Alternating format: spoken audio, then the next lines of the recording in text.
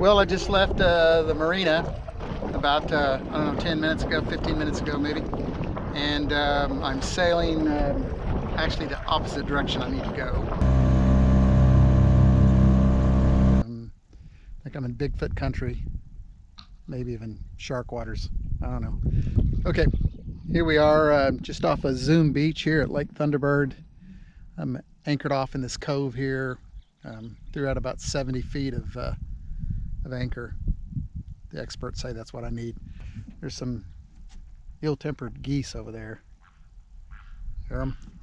Anyway. And I think some wolves. But anyway, um, what could go wrong, right?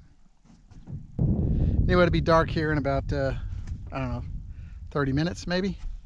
So I've got some lights rigged up on the boat here. We'll be turning them on pretty quick and hopefully the anchor will hold. But, um, and it's starting to get a little chilly. I know here's some scary creatures out there. It is Halloween. So I'll be um, getting the little cabin ready here in a minute. Maybe watch some Netflix. I don't know.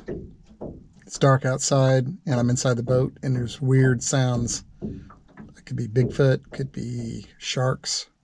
Well, it's about 7.30 in the morning and uh, I woke up to this. As you can see, it's um, pretty foggy out. Um, but I know that the shore is right. Well, I'll be honest with you, I have no idea which direction the shore is. But, um, so we'll just have to wait here or watch some Netflix videos or something. And um, hopefully this clear up or somebody's gonna have to come get me or something.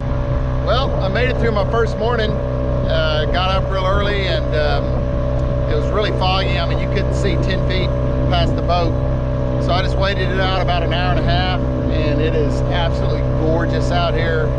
Um, sun's up, fog is almost all gone. There's no wind, so I'm motoring back about a mile, maybe half a mile or so uh, to the marina. Well, as predicted, uh, about, um, I don't know, quarter of a mile or so, maybe a little better than that from the marina, we ran out of gas. Um, that's twice now in this boat.